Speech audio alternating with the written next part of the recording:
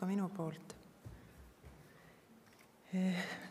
siin siis selle pildiga ma kutsun teid siis oma tööruumi, et kui algselt oli kokkuleppimine, et teie tore seminar toimub meie majas ja siis oli soov, et ka te saate tulla vaatama meie köögi poolt, siis kui kuulsime, kui arvukat osalusprotsenti või inimeste hulka siia eeldati ja lõpuks see suurenes veelgi korraldajate suureks rõõmuks, et siis oli ilmselge, et sellesse väikesse ruumi mitte kuidagi teid ära ei mahuta, aga mingisuguse sellise visuaalse ettekujutuse võiks ju ikkagi teile tekitada.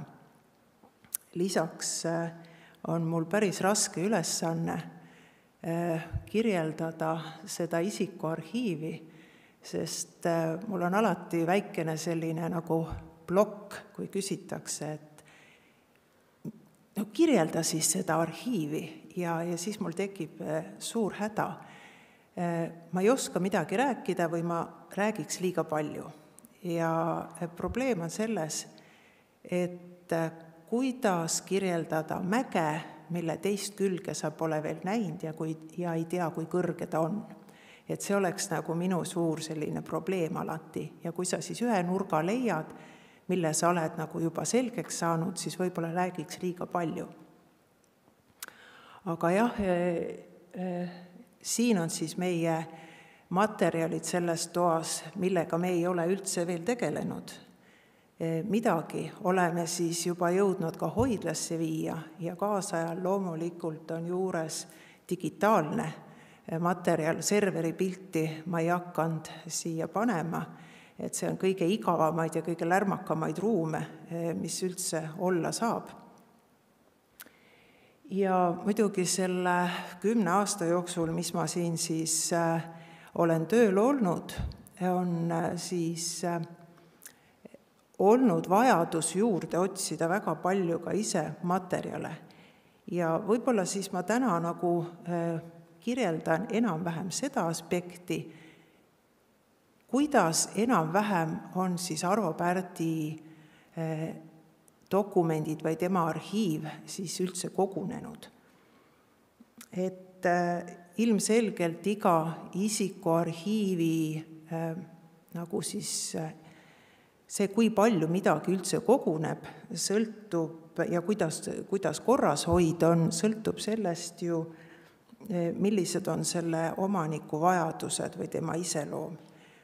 Arvo Pärt on helilooja kakskümmend neli seitse ja ta on sellise iseloomuga kellele meeldib vaadata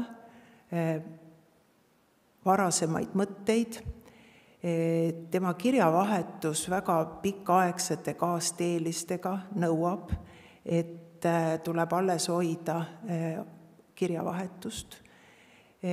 ta on huviline, mismoodi kajastatakse või võetakse vastu tema loomingut, nii et ta on kogunud meediakajastusi, kavalehti, ühel hetkel uurimustöid, väga palju ju ka küsiti tema käest küsimusi ja nii edasi, nii edasi, nii et see materjalide hulk on tohutult suur. ja samas on näiteks esimene periood, nii esimene periood selles arhiivis, mis on suhteliselt äh, tühi. Ja sellel on kaks põhjust. esiteks äh, nõukogude aeg, see on siis periood kuni kaheksa, tuhat üheksasada kaheksakümmend, kui Arvo Pärt emigreerus, et siis äh, väga palju tollase inimese tegevust korraldati teist, ütleme riigi poolt erinevate institutsioonide kaudu ja helilooja tegevust on siis näha, korraldas Heliloojate Liit, Kultuuriministeerium, Muusikafond, lisaks ka veel üleliidulised needsamad organisatsioonid. Ja kõige lõppu ma olen siis kirjutanud ka ema, sest üldiselt kui kui ma, meil siin käivad ka inimesed ekskursioonil ja, ja siis ma vahel ärgitan neid ka enda kodus olevate asjade peale mõtlema, siis tegelikult kõige esimesed arhivaarid on ju igaühe ema ja isa, nii et ma küsingi, et kes on teie arhivaar olnud juba. nii et jah, täpselt vastavalt võimalustele hoidis siis ka mingi väikese armsa dokumendikogu eh, kirjad ja, ja tunnistused ema, aga ülejäänu eh, eh, ei ole väga palju alles helilooja enda materjale, kui helilooja lahkus, siis ta tegelikult väga suure enamuse kodus olnud asjadest jagas laiali oma sõpradele, tuttavatele ja võib-olla ma ei teagi, meil ei ole kahjuks võimalus olnud seda selgeks teha, mis siis seitsmekümne üheksanda aasta sügisel toimus nende asjadega, tohutult vähe oli võimalust tal materjale kaasa võtta, oli lausa äh, kohvrite piirang, et kui perekond emigreerus ja neljakesi minnes, kaks väikest last, siis ilmselgelt äh, kaasa võeti see kõige-kõige-kõige olulisem. Nii et kui hetkel eh, uurija eh, soovib teada saada, mismoodi, millises keskkonnas, kuidas helilooja tegutses, siis selle jaoks tuleb uurida vot selliseid kaudseid dokumente. Ja, ja ma olen nüüd viimase seitsme aasta jooksul nendest erinevatest siis mm, kogudest, mis siin on loetletud, need asuvad Ajaloomuuseumis ja Riigiarhiivis, olen siis pea kuussada digidokumenti siia siis koopiatena saanud, nii et, et praegu uurija juba saab tulla suhteliselt mugavalt meie juurde eh, neid vaatama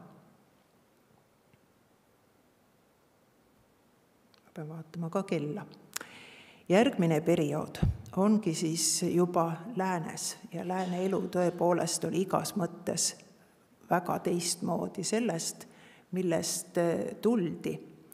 ja, ja siis ei olnud enam niisugesi puhverorganisatsioone vahel, ainukene eh, institutsioon, kellega helilooja suhtleb väga tihedalt, on kirjastus, kes esindab tema loomingu müüki. Ülejäänu oli juba kõik kas sinu enda korraldada või siis ei teinud seda mitte keegi.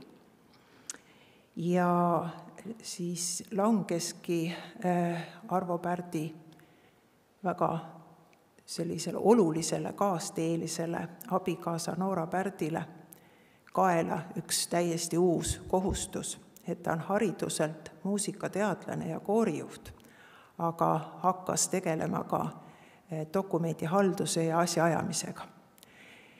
Eh, ja eks see oli üks paras selline keeruline aeg, nii et eh, ma olengi siia pannud sõna väljakutsed. kes on vähekenegi dokumendihaldusega kokku puutunud, siis teab, et selleks, et midagi leida Eh, oleks ülioluline süstematiseerida, eh, otsustada, kuidas sa liigid, kas liigipõhiselt või kuidas sa nüüd siis kogud asju ja register.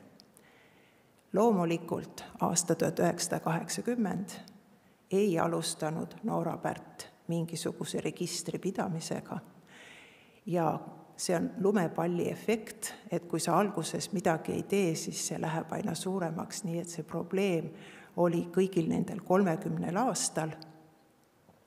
Nende kaustade seintelt või selgadelt on näha, eh, kuidas siis otsingud käisid, et, eh, et kord oli numeratsioon, et esimene kaust sai täis ja siis jõudsid siin näiteks, see on kahekümne viiendani, siis hakati tähestiku järgi panema, siis juba selgus, et mõned kaasteelised on ikka väga kaua, et siis hakkas juba isikutepõhine, siis tuli äh, juba teemapõhine, näiteks et kui toimus festival või oli ühe teose tellimus ja nii edasi, nii et selle kolmekümne aastaga tegelikult eh, minu suureks heameeleks Noora Pärt sai aru, kuidas eh, süstematiseerida ja arhiveerida Arvo Pärti. et kui ma siia kümme aastat tagasi tulin tööle, siis ma ei pidanud hakkama seda välja mõtlema. See oli küll üks suur pluss, ma ei tea, kui kaua ja mitu aastat ma oleks seda teinud, et aru saada, mismoodi ma sellest suurest paberikuhjast läbi närin ja kaasaeg hakkas ju minema digitaalseks. aga tõesti, eh, kaks tuhat kümme siis, kui mina siia tulin, siis võtsin kätte ja, ja tegelesin veidike sellise algvundamendi eh, loomisega, ehk siis arhiivi loetelu, eh, keskuses on eh, enda poolt välja siis töötatud spetsiaalne informatsioonisüsteem, mis ei ole ainult arhiividokumentide arvelevõtmise keskkond, vaid tegelikult ka infobaas sest kohe algselt oli helilooja perekonnal soov, et, äh, et kõik, mis arvele võetakse, oleks täiendatud võimalikult palju muude metaandmetega. Ja siin on näha siis vabandust, et see on ingliskeelne ma kasutasin hästi häbematult ühte ettekannet, kus mul oli tehtud siis võõrkeelsetele inimestele siis selline ingliskeelne vaade, eh, on, on näha siis, kui laialt tegelikult eh, me pakume ka uurijale juba eh, filtreerimise ja info väga erinevast aspektist vaatamise võimalust. siin ekraanilt ma näen kehvemini, ma vaatan siia. et see on siis ühe dokumendi vaade, mis on seostatud ettekannetega meediaülevaadetega, isikutega, kes on selle, selle dokumendiga seotud, sa saad vaadata meie programmis isikupõhiselt, mis on temaga kõik seotud, kahjuks ei saa vaadata kohapõhiselt väga mugavalt, aga põhimõtteliselt saab ka selle, nii et, et algselt kohe oli siin äh, selle, see äh, nagu lisa äh, eripära, et et, et ei võeta lihtsalt materjal arvele, vaid me teeme tegelikult suhteliselt palju eeltööd juba ka uurijate jaoks ära. ja loomulikult siis, kuna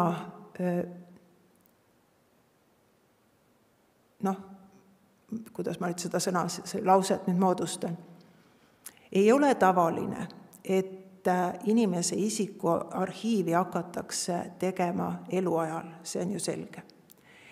ja veel vähem tavaline on, et lastakse sellele ligi nii varakult juba ka võõrad inimesed.